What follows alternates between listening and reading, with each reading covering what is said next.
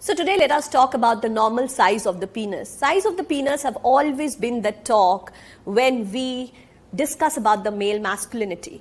And it's such a stigmatized conversation altogether. So let us understand as per research what is the normal size. So when we talk about the normal size of the penis, a proper erected penis is around 3.5 to 6.8 inches and a flaccid or a non-erected penis is around 2.3 to 4.8 inches. But again, it is not what the size is about, but what are we going to do with the penis that really matters. So focus on that rather than the size.